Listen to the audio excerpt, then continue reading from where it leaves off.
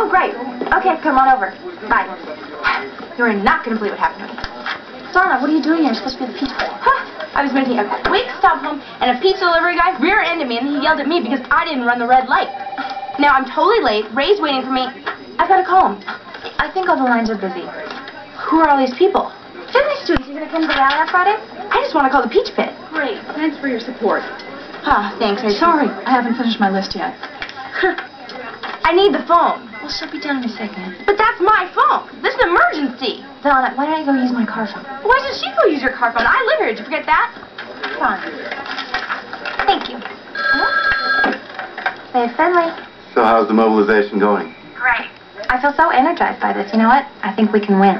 Gather a little courage. It's amazing what a mere mortal can do. So what do I owe the pleasure? Well, I've got a little research I was hoping we could discuss tomorrow. Do you want to meet for coffee? How about lunch? Give me that.